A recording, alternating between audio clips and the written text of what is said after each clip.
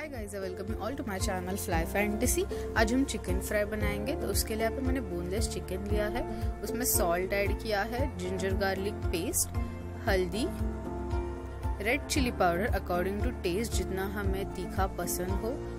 उसके बाद थोड़े सा कोरिएंडर पाउडर मतलब धनिए का पाउडर उसके बाद जीरे का powder cumin seed powder after that थोड़ा सा गरम मसाला गरम मसाले का बहुत अच्छा इसमें टेस्ट आता है, थोड़ा सा ऐड करेंगे।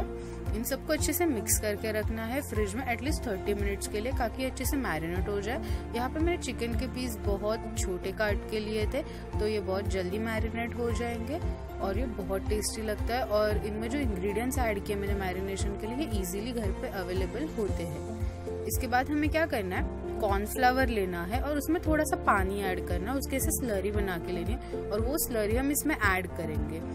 हम डायरेक्टली कॉर्नफ्लावर इसमें ऐड नहीं करेंगे। हम ऐसे स्लरी बनाएँगे, उसकी अलग से पानी डालकर फिर वो वाला जो पेस्ट होगा ना, वो इसमें ऐड करेंगे। ये देखिए, इससे क्या होगा ना, पानी ज़्यादा या कम का टेंशन नहीं होगा। हम अलग से ही बनाएँगे उसका पानी और कॉर्नफ्लावर का मिक्सचर एंड देन हमें बस चिकन में ऐड करना है। और फिर हम इसे फ्राई करके लेंगे। फास्ट या फिर मीडियम हीट पे आप इसे फ्राई कर सकते हो। स्लो हीट पे करेंगे तो ये थोड़े से बाहर से कड़क हो जाएँगे। क्रिस्पी भी होते हैं, पर कड़क ज़्यादा हो जाएगी। इसके लिए हम इन्हें मीडियम गैस पे फ्राई करके लेंगे ताकि ये अंदर तक अच्छे से पक जाए।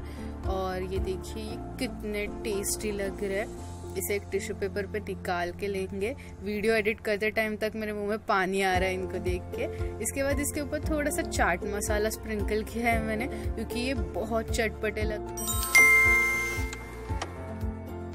And if you like the video do not forget to hit the subscribe button. Thank you